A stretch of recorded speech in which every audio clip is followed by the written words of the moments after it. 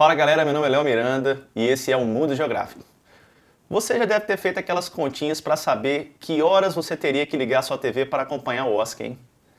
Pois é, esse é o nosso assunto de hoje.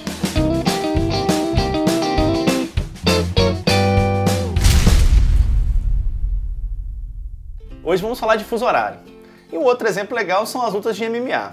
Você pode ser fã ou não, mas a galera que é fã com certeza fica acordada até mais tarde para poder acompanhar as lutas. E não é porque elas acontecem de madrugada, mas sim por causa da diferença fuso horária.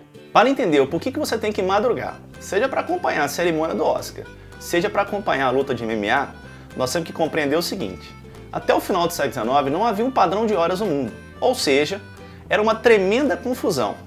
No Brasil, por exemplo, cidades como Rio de Janeiro e Recife tinham até 30 minutos de diferença entre elas.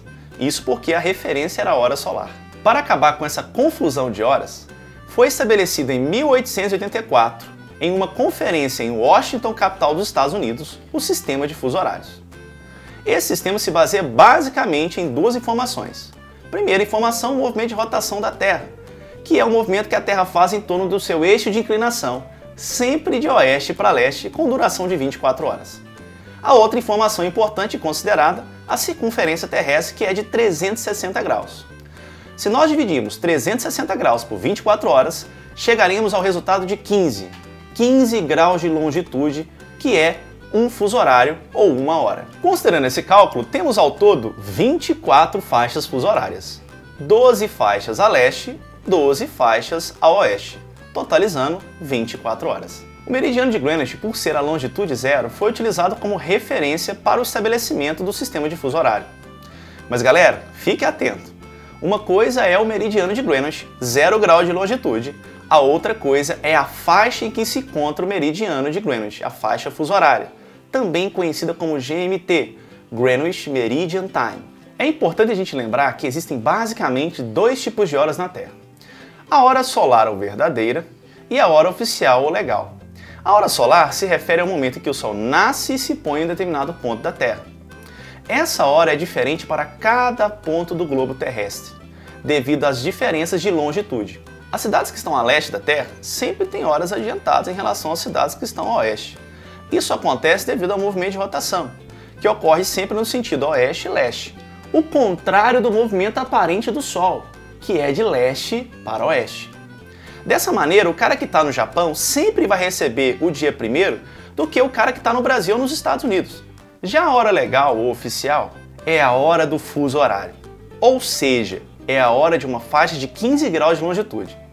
Então, mesmo que uma cidade esteja à direita de outra, mas bem próximo, elas terão a mesma hora oficial ou legal, porque estão dentro do mesmo fuso horário. No Brasil, a hora oficial ou hora legal é o famoso horário de Brasília.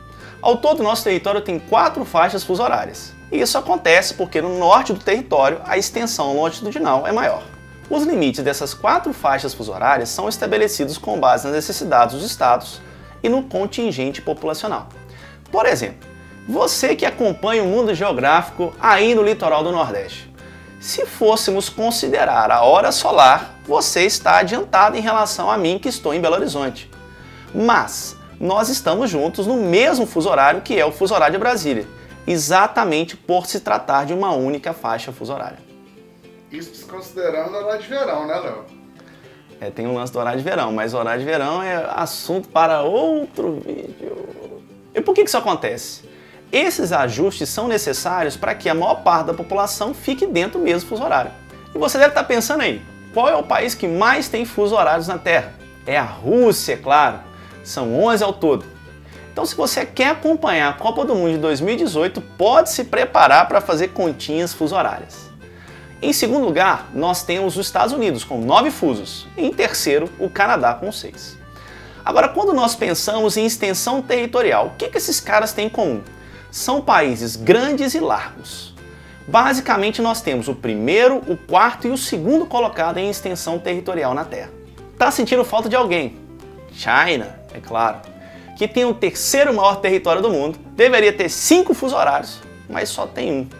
Isso acontece porque, Léo, devido a uma decisão do governo chinês, que por motivos econômicos e políticos preferiu que assim fosse. Então, para boa parte da população chinesa, o Sol nasce às 9 da manhã essa situação não acontece só na China, mas também em outros países, em que são feitos ajustes para maior adequação política e econômica. Lembrando então, galera, que a quantidade de fuso horários não é determinada pela área total do país, mas sim pela sua extensão longitudinal. O Chile, por exemplo, tem um único fuso horário. Se nós deitássemos o Chile, com certeza conseguiríamos colocar mais de uma faixa fuso horária, mantendo a área e o formato do país. Mas é isso, galera. Tá com dúvida? Mande o seu comentário aqui embaixo pra gente. Um abraço, falou!